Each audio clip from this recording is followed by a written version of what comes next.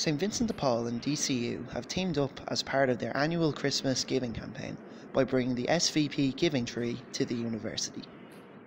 The tree features special star shaped tags, with each tag listing a person and age group, such as teenage boy, adult, baby girl, and so on. Donators take a tag from the tree and leave a gift for that person underneath, with all the gifts being donated to the charity.